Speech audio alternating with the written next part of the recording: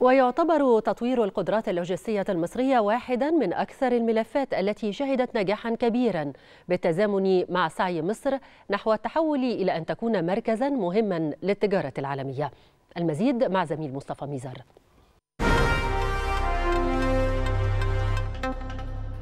أهلا بكم.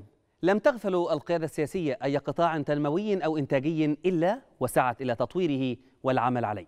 ويعد تطوير القدرات اللوجستية للدولة المصرية واحدا من أكثر الملفات التي شهدت نجاحا كبيرا خلال العقد الماضي وتفيد المؤشرات التنافسية الدولية والمتعلقة بالبنية التحتية بتقدم مصر 48 مركزا خلال الفترة من العام 2014 وحتى عام 2019 فقط. مصر تمتلك 18 ميناء تجاريا ولديها 3000 كيلومتر شواطئ تعمل على استغلالها بصورة مثلى وقد اعتمدت الحكومة خطة متكاملة لتطوير تلك الموانئ وبتكلفة إجمالية وصلت إلى 129 مليار جنيه. من أهم الموانئ التي تم ويتم تطويرها ميناء جرجوب ميناء العريش ميناء الإسكندرية الكبير ميناء دمياط موانئ البحر الأحمر ميناء بورسعيد وميناء السخنة.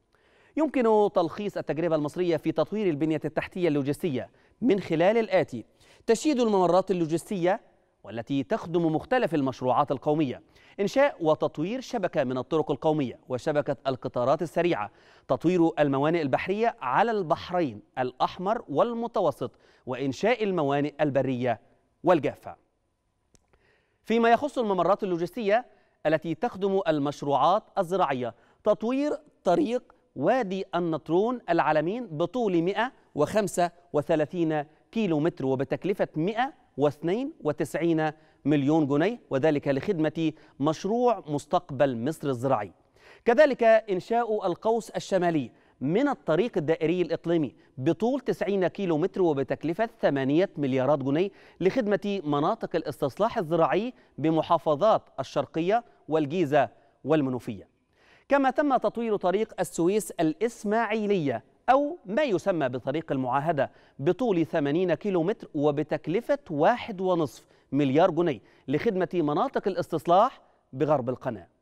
فيما يخص الممرات اللوجستية التي تخدم المشروعات الصناعية تم إنشاء القوس الشمالي من الطريق الدائري الإقليمي بطول 90 كيلو متر وبتكلفة 8 مليارات جنيه لخدمة المنطقة الصناعية في قويسنا وتطوير ورفع كفاءة طريق السويس العين السخنة بطول 60 كيلو متر وبتكلفة 3.5 مليار جنيه لخدمة المناطق الصناعية بالعين السخنة.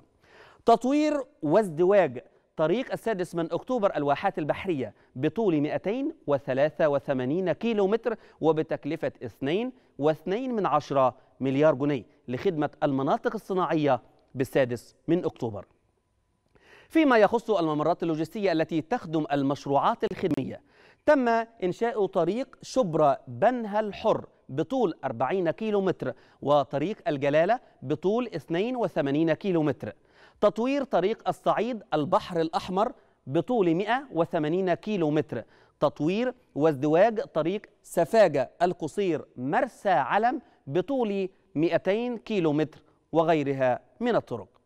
الدولة المصرية حرصت كذلك على وضع خطط كاملة لتشييد أكبر شبكة للسكك الحديدية في الشرق الأوسط ومن المتوقع أن يبلغ إجمالي أطوال هذه الشبكة عند الانتهاء من تشييدها 1825 كيلو متر من السكك الحديدية. كل تلك الجهود أسفرت عن إشادات دولية صدرت من كبريات المؤسسات الدولية حيث تقدمت مصر خمسة مراكز في مؤشر الفرص اللوجستية الدولية في عام 2020 لتحتل بذلك الدولة المصرية المركز الثالث والعشرين مقارنة بالمركز الثامن والعشرين في عام 2019 كما قفزت مصر إلى المرتبة الثامنة والخمسين عالميا في مؤشر الأداء اللوجستي لعام 2023 والصادر من البنك الدولي. محققة بذلك نحو 3.1 من عشر نقطة مقارنة بعام 2018 حيث احتلت مصر المرتبة السابعة والستين عالميا. كذلك تقدم ميناء بورسعيد للمركز العاشر عالميا في مايو من العام 2023 وفقا لنتائج مؤشر أداء موانئ الحاويات من بين 348 ميناء حول العالم.